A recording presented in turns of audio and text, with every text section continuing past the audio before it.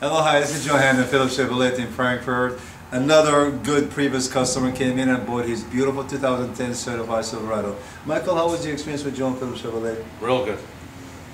Would you recommend John Phillips to your friends, family? Yes, I would. I bought my first truck here, now I'm buying my last truck. Well, maybe not my last. Michael, it's been a pleasure. Thank you so much for the business. Thank you. Come on and see Joe, Philip Chevrolet. I will do.